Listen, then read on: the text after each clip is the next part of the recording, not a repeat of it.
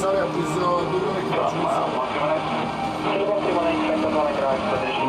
Što je malo? Onda moramo da da pratimo striktno, da se ne bi nutilo nešto na zemlji.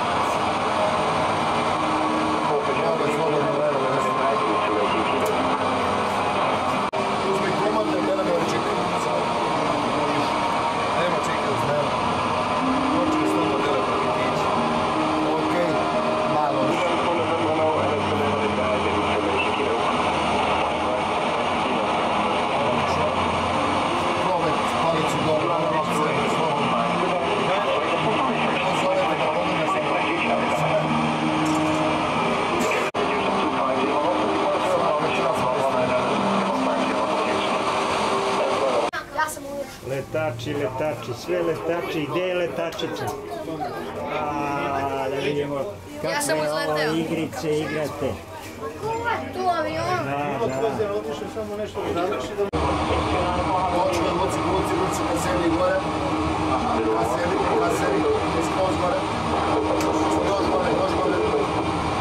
Gore,